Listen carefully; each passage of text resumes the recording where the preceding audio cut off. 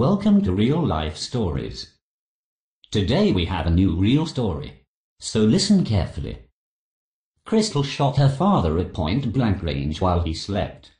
Teenager killed her father and then hid his body in the shed so she could have drug-fueled parties.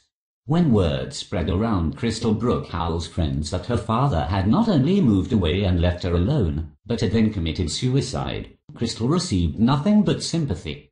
So it was understandable that this 17-year-old had invited some of her friends to stay with her at the remote sprawling family cabin to keep her company. But then Crystal started hosting wild parties and even installed a pole dancing pole in the kitchen. Was Crystal a young girl rebelling after suffering a terrible tragedy? Or was she strangely celebrating her loss?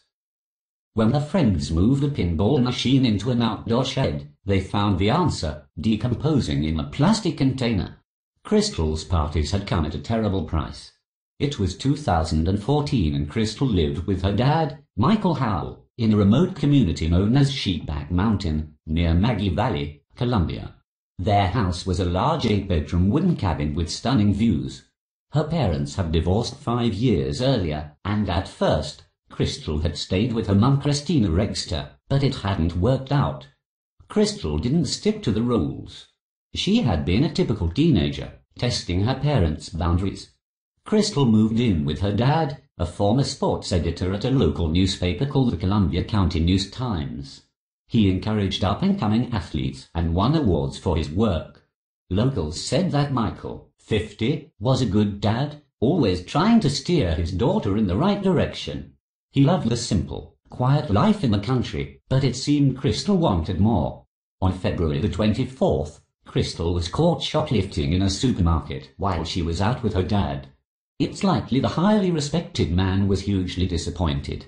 Did Michael tell his daughter he was going to be stricter at home? Was Crystal tired of her dad's rules now too? Whatever he said, when they got home a frustrated Crystal took a shower and made a shocking decision. Her dad had to die. As Michael took a nap on a sofa, Crystal crept towards him with a shotgun. She shot him at point-blank range in the head, killing him instantly. Somehow, the girl managed to drag his body to a shed on the grounds. She stuffed it inside a plastic storage container and covered it with a sleeping bag. Then she hid the empty gun casing, got rid of the sofa and sold the gun. Now she needed to explain his disappearance. Crystal spread rumors around her friends that her father had gone off to Georgia without her, then said she'd received a call informing her that he'd killed himself. It didn't arouse suspicion when she invited some friends to stay. The cabin was big and isolated. They thought she'd been abandoned and she said she needed help to go through her dad's things. They moved in and started to pack up Michael's belongings in containers similar to the one Crystal had crammed his body inside. In the rural community, no one noticed when Crystal started to throw big parties or that Michael had vanished. She used her dad's money to buy drugs and drove his car. Her actions were easy to hide from authorities in such a secluded spot. A month later, on March the 22nd, two of Crystal's male friends moved a pinball machine out into the shed. As they shifted things around, one of the young lads saw the storage container and looked inside. He discovered Michael's decomposed body. I never want to see anything like that ever again in my life, he later told a local paper.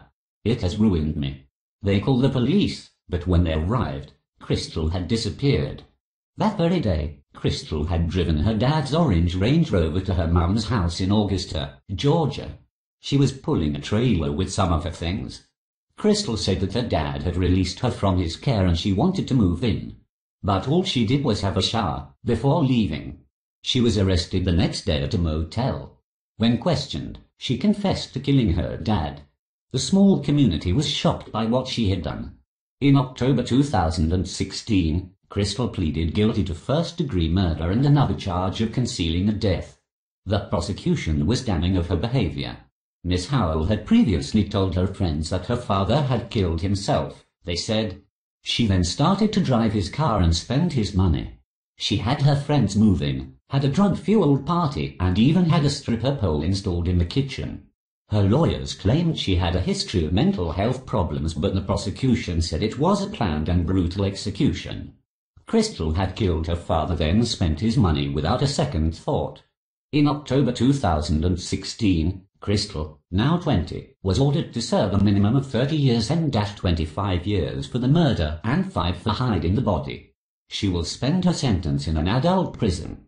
Crystal was a teenager who hated living by the rules. She murdered her dad as he slept, so no one could tell her what to do, but there was no escaping the rule of law.